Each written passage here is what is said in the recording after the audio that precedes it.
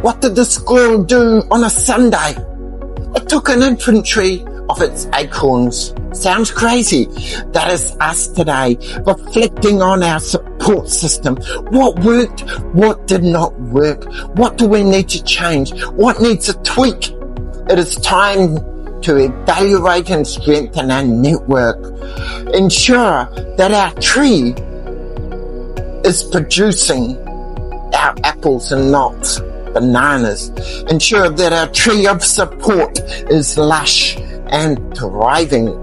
Weekly reflection, strengthen and support your tree, your network, and make sure your roots are grounded in support as well.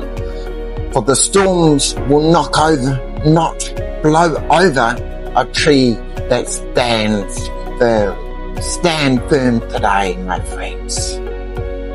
Remember, success isn't about reaching the destination. It's about embracing the journey. Every setback is a setup for a comeback. So keep pushing, keep striving, and never forget the only limit is the one that you set for yourself.